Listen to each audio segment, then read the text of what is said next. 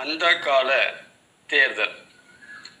திருச்சி தொகுதியின் காங்கிரஸ் எம்பி திருநாவுக்கரசர் முன்னாள் தமிழக காங்கிரஸ் தலைவராக இருந்தவர் அறந்தாங்கி தொகுதியின் செல்லப்பிள்ளையாக இருந்து எம்ஜிஆர் அமைச்சரவையை அலங்கரித்தவர்.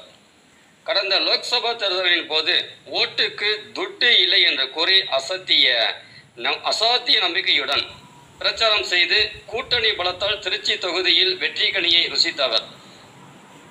அவர் தன்னுடைய அந்த கால அனுபவங்களை இப்போது விவரிக்கிறார்.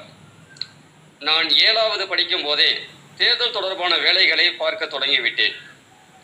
எனது உறவினர் அடம்பூர் ராமநாதன் அவர் காமராஜருக்கு மட்டுமல்லாமல் மூப்பனர் சிவாஜி ஆகியோருக்கும் வேண்டப்பட்டவர். அறந்தாங்கி தொகுதியில் ஆயிரத்தி தொள்ளாயிரத்தி அறுபத்தி ரெண்டில் அவர் போட்டியிட்டார். அந்த தேர்தலில் அவரின் காளை மாட்டு சின்னத்துக்கு பூ ஸ்லிப் எழுதி கொடுத்தேன். அப்போதெல்லாம் ஊரில் பொது இடமான கோயிலுக்கு வேட்பாளர் வருவார். கட்சி பிரமுகர்கள் ஊர் முக்கியஸ்தர்களை சந்தித்து ஆதரவு கேட்டுவிட்டு செல்வார். வீடு வீடாக சென்று ஓட்டு கேட்பதோ மைக் வைத்து பிரச்சாரம் செய்வதெல்லாம் இருக்காது. இப்போது போல் நிறைய கார்கள் பயன்படுத்த மாட்டார்கள். வேட்பாளர் மட்டும் ஒரு காரில் வந்து ஊர் பெரிய மனிதர்களை சந்தித்து ஆதரவு திரட்டுவதே நடைமுறையாக இருந்தது. அவர் சென்ற பின்பு ஊர் கூடி ஆதரவு தருவதா என்பது குறித்து முடிவு எடுக்கும். கிராமங்களில் பெரும்பாலும் காங்கிரஸ் கட்சிக்குத்தான் ஆதரவு கிடைக்கும்.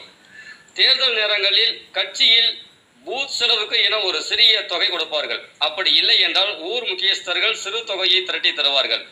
ஓட்டுப்பதிவு நாளில் பிரியாணி சமாச்சாரங்கள் எல்லாம் கிடையாது. ஓட்டு போட்டு வந்த பின்பு வாக்காளர்களுக்கு வடை டீ லெமன் ஜூஸ் சர்பத் தருவார்கள். காசு பணம் தரும் கலாச்சாரம் அப்போது இல்லை. ஆயிரத்தி தொள்ளாயிரத்தி அறுபத்தி ஏழாம் ஆண்டு திமுக ஆட்சிக்கு வந்தது. ஆயிரத்தி தொள்ளாயிரத்தி எழுபத்தி ஒன்றில் திமுகவுக்காக பிரச்சாரத்துக்கு சென்றேன். ஆயிரத்தி தொள்ளாயிரத்தி எழுபத்தி ரெண்டில் அண்ணா திமுக கட்சியில் சேர்ந்த நான் ஆயிரத்தி தொள்ளாயிரத்தி எழுபத்தி ஏழாம் ஆண்டு தேர்தலில் போட்டியிட்டேன். வீட்டில் இருந்த நெல்லை விற்று எனது தந்தை தேர்தல் செலவுக்கு எனக்கு பணம் தந்தார். எனது தந்தை பஞ்சாயத்து போர்டு தலைவராக இருந்தார் இருந்தவர். உறவினர் சிலர் தந்த பணத்தை வைத்து தேர்தல் செலவு செய்தேன். நான் போட்டியிட்ட போது கட்சியில் இருந்து பூத்துக்கு பணம் தரவில்லை. அப்படி பூத்துக்கு பணம் வாங்குவதையே மக்கள் அசிங்கமாக நினைத்தார்கள். பணம் கொடுத்து அசிங்கப்படுத்தாதீர்கள் என்று கூறுவார்கள். ஊர் கூடிய நிதி திரட்டி செலவு செய்வார்கள். தேர்தல் கமிஷன் என்று ஒன்று செயல்படுகிறது என்பதே பொதுமக்களுக்கு அவ்வளவாக தெரியாது.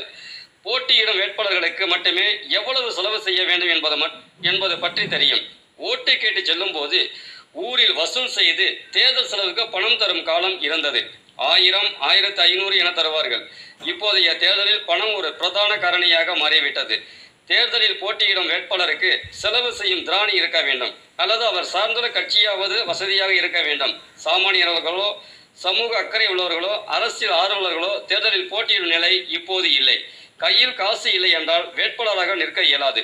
ஜெயிக்க முடியாது என்ற துர்பாக்கிய நிலை வளர்ந்து உச்சத்தை நோக்கி சென்று கொண்டிருக்கிறது. இது தடுக்கப்பட வேண்டும் என்று முன்னாள் தமிழக காங்கிரஸ் தலைவராக இருந்த திருநாவுக்கரசர் சொல்லி முடித்தார்.